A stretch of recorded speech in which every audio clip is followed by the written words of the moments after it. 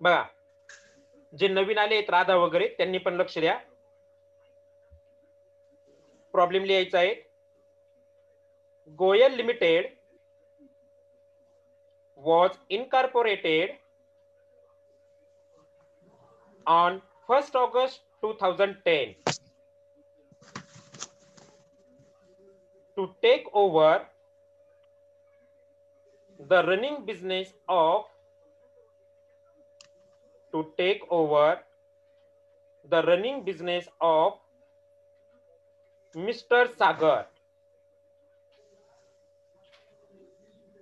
from 1st April 2010.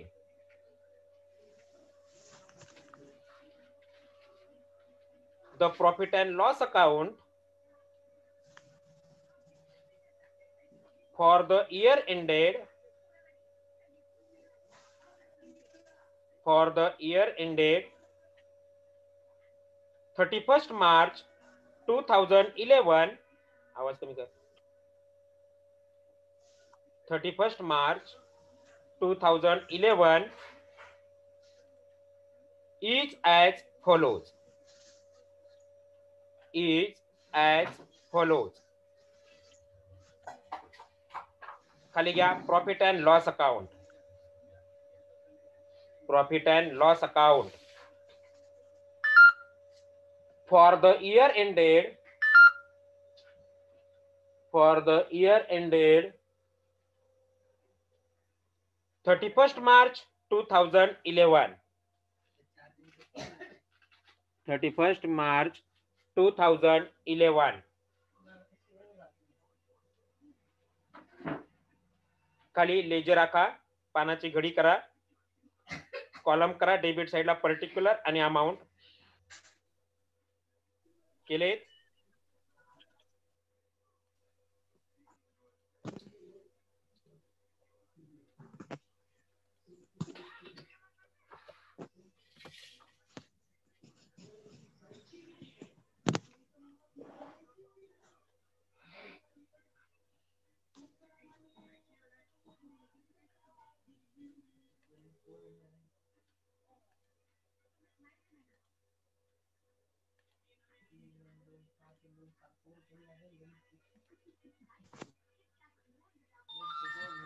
झालंय घ्या debit साइडला कॉलम केलेत ना पर्टिक्युलर डेबिट अमाऊंट आणि पर्टिक्युलर क्रेडिट अमाऊंट डेबिट साइडला to rent and taxes thirty thousand to electricity charges 4800 two salaries two salaries 72000 to director fees 6000 तो auditor fees three thousand two hundred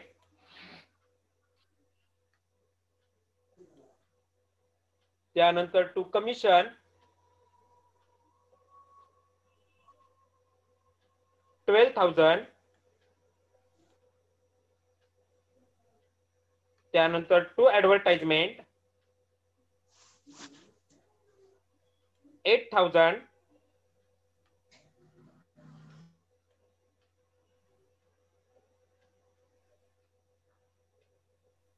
to interest on loan 6000 त्यानंतर to discount seven thousand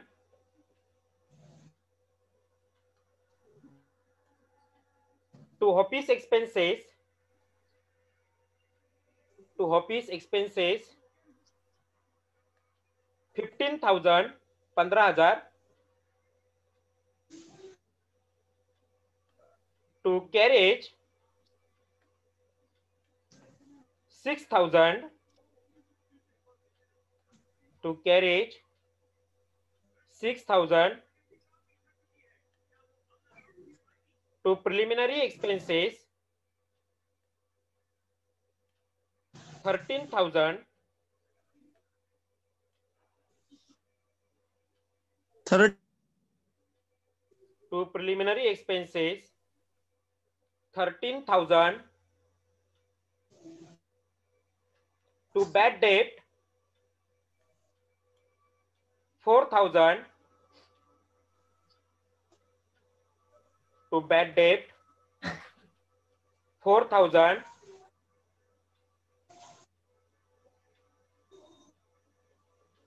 to net profit 23000 to net profit 23000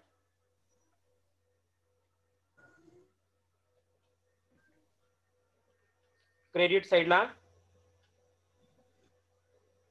by gross profit two lakh ten thousand two lakh ten thousand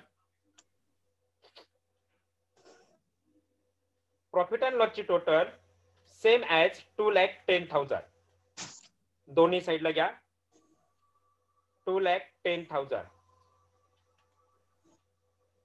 खाली paragraph करा। The total sales for the year ending the total sales for the year ending on एकतीस मार्च दोन हज़ार अकरा on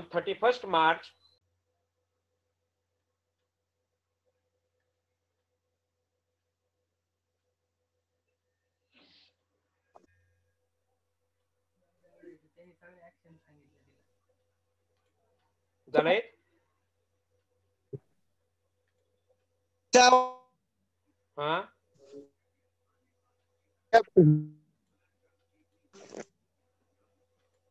the total sales for the year ending on 31st March 2011 was rupees 10 lakh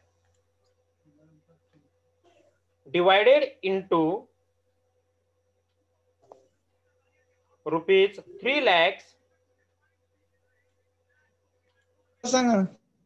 for the period rupees 3 lakh for the period दिसत नाही का screen आता दिसतोय का तोंड the total sales for the year ending 31st March 2011 was rupees 10 lakh divided into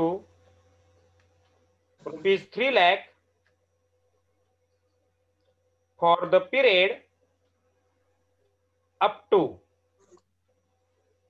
1st August 2010 and rupees 7 lakh for the remaining period. Full stop. Kali.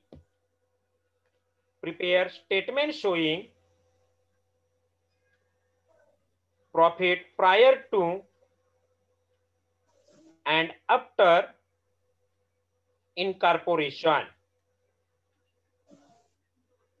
of Goyal Limited. Of Goyal Limited.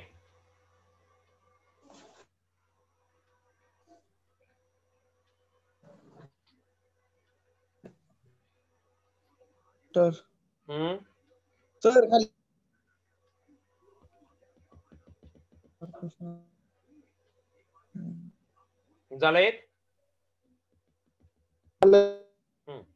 चला आता आपल्याला problem solve करायला सुरुवात करायची आहे.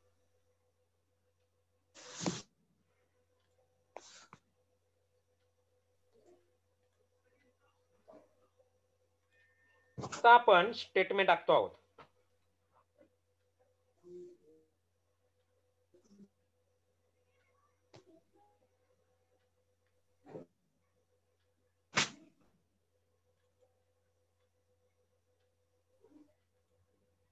एक minute हाँ.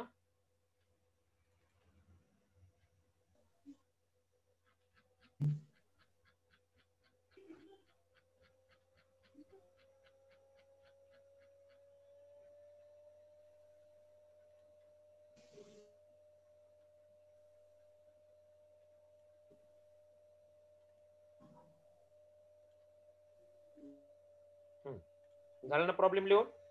तर आता नवीन पेज वरती आपण स्टेटमेंट टाकतो आहोत.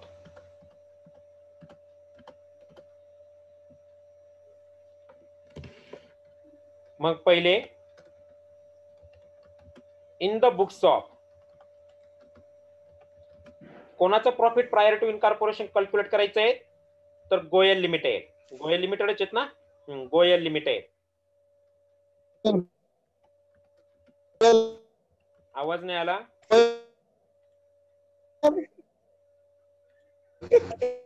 खाली स्टेटमेंट शोईंग काय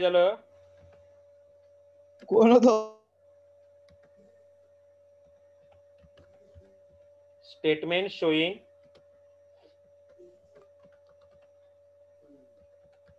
profit prior to incorporation.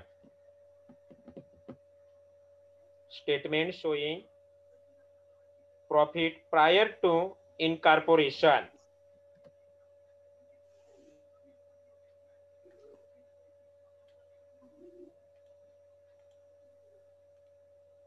खाली आपण स्टेटमेंट आखतोय. आपण व्हर्टिकल फॉर्मॅटमध्ये आखतो. म्हणून कशा पद्धतीने आखायचं आहे? पहिले समजून घ्या. पहिला कॉलम येईन आपला पर्टिक्युलरचा त्यानंतर तुम्हाला समजावत म्हणून मी दुसरा कॉलम घेतोय. टोटल अमाऊंटचा त्यानंतर घेतोय बेस त्यानंतर घेतोय रेशो त्यानंतर मग प्रायर त्यानंतर मग आफ्टर याप्रमाणे मी इतके कॉलम घेतोय. तुम्हाला समजण्यासाठी. यातले काही कॉलम तुम्ही काढू शकता खास करून टोटल अमाऊंटचा तो नाही घेतला तुम्ही तरी सुद्धा चालेल. त्याची काही अडचण नाही. रेशो छोटा करून घेतो. हा? बेस.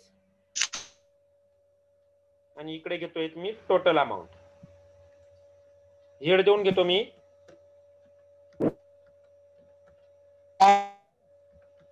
पर्टिक्युलर सर्वांनी आखायचं आहे आणि सर्वांनी करायचे आहेत माझ्यासोबत. Particular total base ratio prior rupees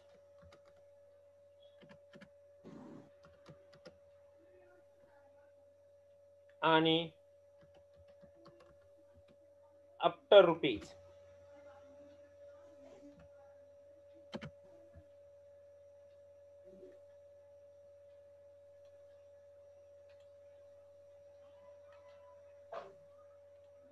याप्रमाणे कॉलम बनवले.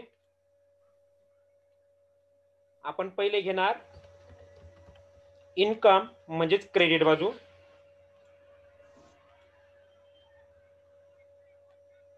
मग पहिले क्रेडिट बाजूचे ऍटम्स घेऊयात.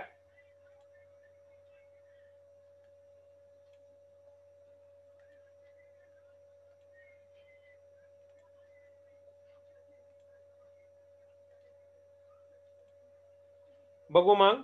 क्रेडिट साईडला काय काय आहे? क्रेडिट साईडला फक्त एकच आयटम आहे. Gross profit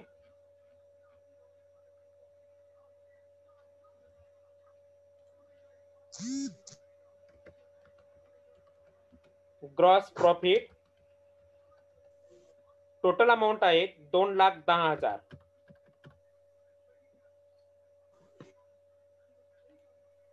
दुसरा कुठलाही आयटम नाही आहेत म्हणून इथे टोटल करून घेऊयात.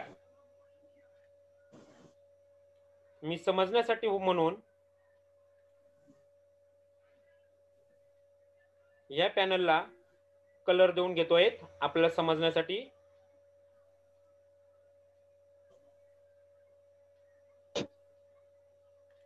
याप्रमाणे.